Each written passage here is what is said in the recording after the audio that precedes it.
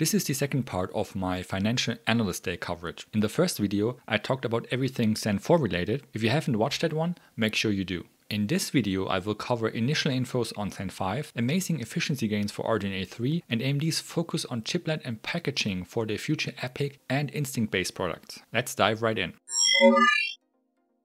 Of course, Zen 5 is still quite a bit in the future, so don't expect in-depth information like we've got with Zen 4. But AMD is clearly comfortable sharing initial details about Zen 5, and one of the main takeaways is that Zen 5 will be a major architectural change. While Zen 2, Zen 3 and Zen 4 are all incremental evolutions of the same base core design, with Zen 5 AMD will introduce a new architecture freshly built from the ground up and with a focus on AI and ML workloads. If you currently own a Zen 3 system, Zen 5 might be the right time to upgrade. If we take a look at the CPU core roadmap, there are two points of interest in my opinion. Number one is that Zen 5 based CPUs will use 4nm and 3nm nodes. This is quite interesting to me as those two nodes are not really compatible with each other. So far we had 6 and 7nm used for Zen 3, with TSMC's N6 process being a optimized 7nm design and largely compatible. The same goes for the 5 and 4nm designs with Zen 4. N4 is based on a optimized 5nm node, but N3 is an entirely new new process and a full node shrink for TSMC and lacks compatibility with their 4nm design. If Zen 5 is designed for N4, a N3 port would certainly be no easy feat, and if Zen 5 was developed with N3 in mind, N4 could be a challenge too.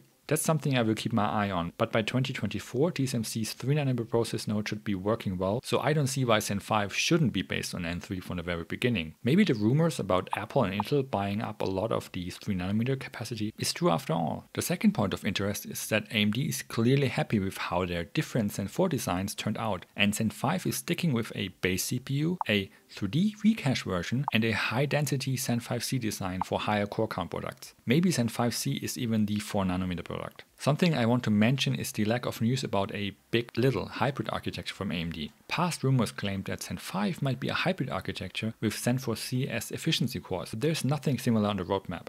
Of course, AMD might just not be ready to release information about that yet, but I personally think AMD isn't working on a hybrid architecture at the moment. Let me explain why. Intel's performance CPU cores like Golden Cove in their current Alder Lake lineup are actually really big cores. They deserve the name both in die size and power draw. AMD showed us a very interesting slide at the keynote comparing a Zen 3 core to Intel's Golden Cove, both using a 7nm named process node. With only 4.11mm squared, Zen 3 is quite a bit smaller than Golden Cove at 7.46mm squared. It's not quite 2x, but pretty close. A single Zen 3 core also draws a lot less power at the same clock speed. Again, 43 watts to 76 watts isn't 2x, but it does come close. Intel just isn't able to put more than 8 big cores into their current CPUs without breaking die size and power draw limits. Intel needs the big little hybrid architecture to stay competitive. AMD on the other hand has a performance core that is more of a medium sized core and also doesn't draw as much power. AMD just doesn't have the pressure to implement a hybrid design simply because they can fit a lot more of the performance cores into a single CPU.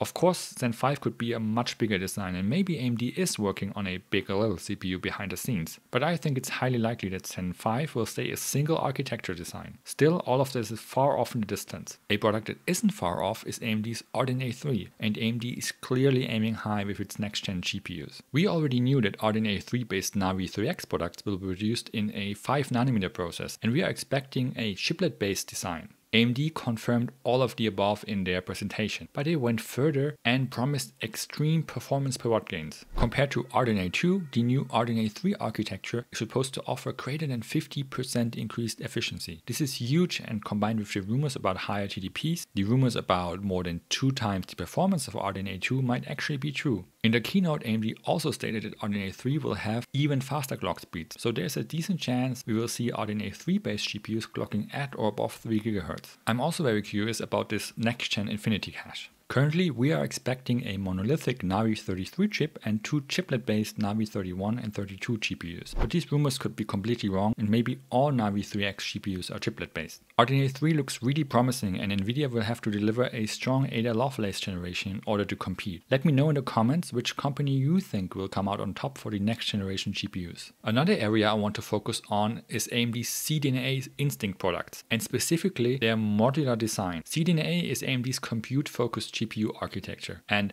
as expected, the next gen CDNA 3 based MI300 accelerators are closing in.